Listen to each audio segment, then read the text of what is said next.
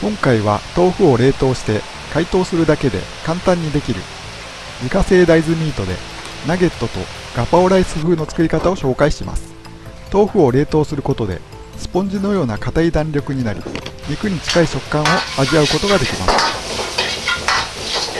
健康やダイエットに肉よりもヘルシーな食事をしたいなんて方におすすめですよ単に美味しく食べたい方でも肉に豆腐ミートを混ぜて使えば柔らかで臭みもない料理にできますよ。さらにかさ増しにも使えるので経済的ですよ。それでは作っていきましょう。豆腐は1日冷凍します。解凍の仕方は常温でそのまま放置でもいいですしすぐに使うならぬるま湯につけたりして解凍します。解凍したらパックから出して水分を抜いていきます。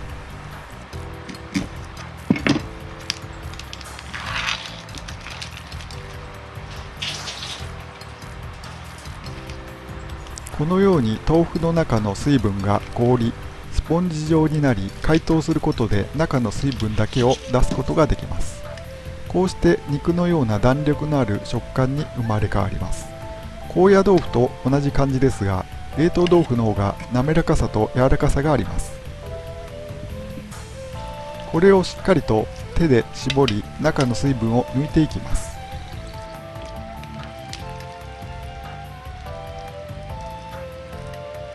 水分が抜けたらボウルに入れ手でほぐしミンチの肉のようにしていきます。このようにボロボロにしておきます。これをナゲットにしていくので下味をつけます。醤油を小さじ1入れます。豆腐は醤油と相性が良く旨味を引き出してくれます。ガーリックパウダーを少量入れます。おろしにんにくを使っても OK です。健康やダイエットよりも美味しく食べたいなら鶏ひき肉を同量入れ塩コショウをしておきます。しっかりと混ぜたら卵を2個入れて含ませていきます。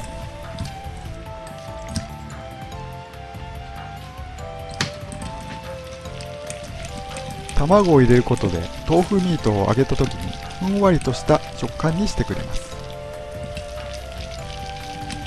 卵など動物性を入れたくなければ水で溶いた小麦粉をつなぎに使うといいです。化学調味料が OK なら鶏ガラスープの素を少量入れると美味しくなります。小麦粉を大さじ1入れます。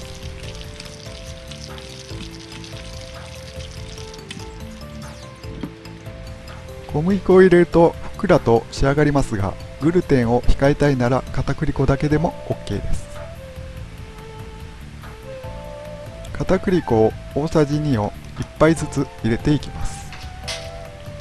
もっとチキンナゲットの風味を高めたければ唐揚げ粉を使うといいですよ。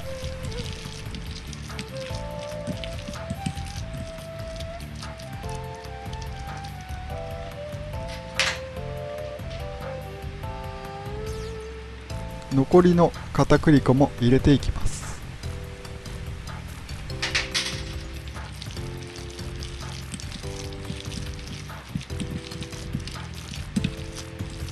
粉を入れたらさっくりと軽い力で混ぜ合わせておきます。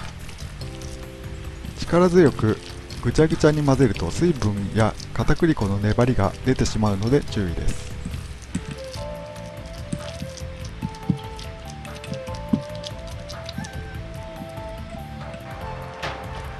ナゲットの形に成形していきます。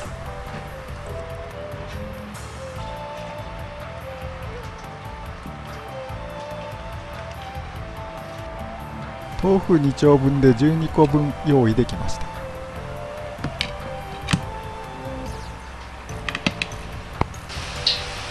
鍋の油を中央に温めナゲットを揚げていきます。鍋の縁から滑らせるように入れると危なくないです。多めの油で調理するのが難しければフライパンで揚げ焼きにしても OK です。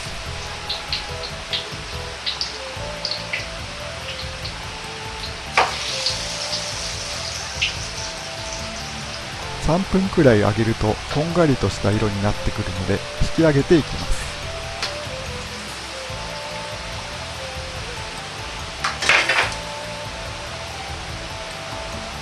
かりと油を切ります。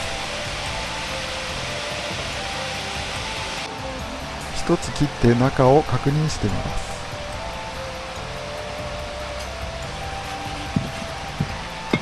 こんな感じになっています。豆腐ミートのナゲットの完成です。次は豆腐ミートでガパオライス風を作っていきます。材料は豆腐ミート1丁人参 10g 玉ねぎ 10g 下茹でした小松菜 10g 生姜みじん切り大さじ1イタリアンパセリあればバジル。材料はピーマンなどが基本ですが冷蔵庫にあるもので問題ないです。味付けもナンプラーがなかったので中華風でアレンジします。甜麺醤大さじ1豆板醤小さじ1砂糖小さじ1を入れます。醤油大さじ1と紹興酒または酒を大さじ1入れます。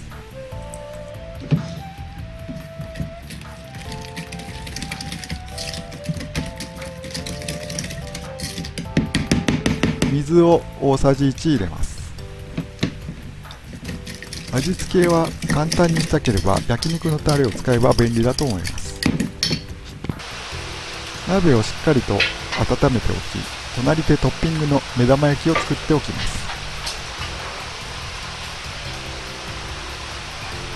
大さじ1の油を入れて生姜、人参、玉ねぎを炒めます。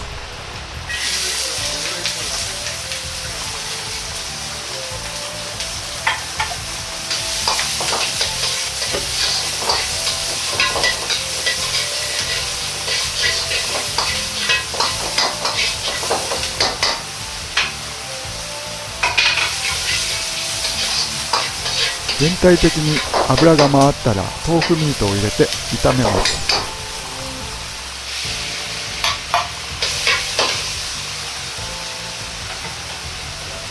まだ豆腐に残っている水分を蒸発させるようにして炒めていきます。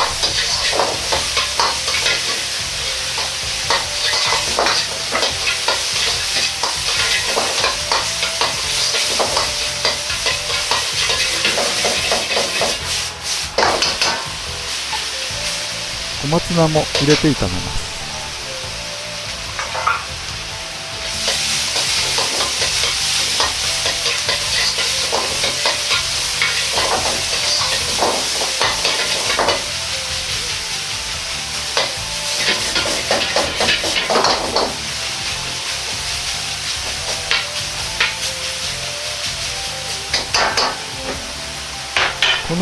豆腐ミートがパラッとした状態になったら合わせだれを入れて炒め合わせていきます。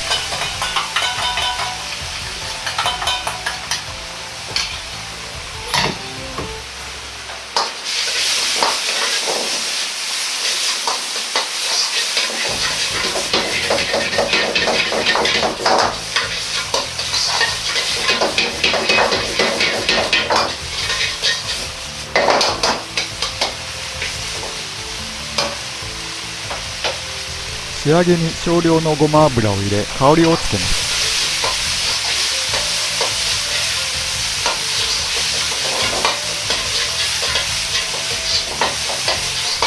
最後は余分な油を飛ばすように手早く炒めていけば完成です。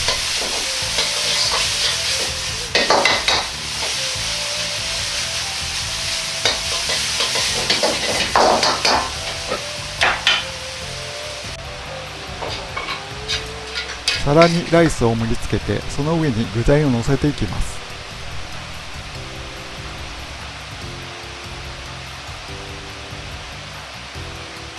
肉のような見た目に仕上がったのではないでしょう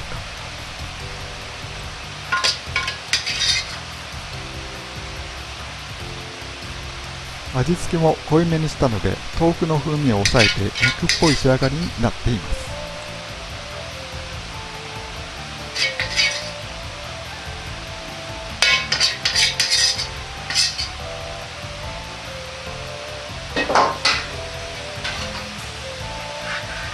トッピングの目玉焼きをのせます。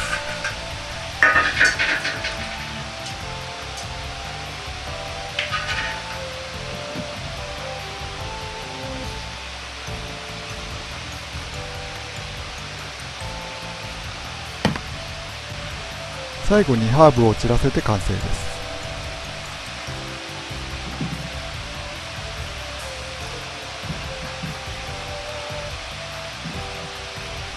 今回は冷凍豆腐で作った大豆ミートを使ってナゲットとガパオライス風の作り方を紹介しました。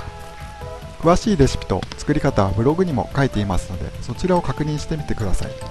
このチャンネルでは簡単なまかない料理や本格的な中華料理の作り方を紹介しています。よかったら高評価とチャンネル登録をお願いします。リクエストなどがありましたらコメント欄にお願いします。最後まで見ていただきありがとうございます。また次回よろしくお願いします。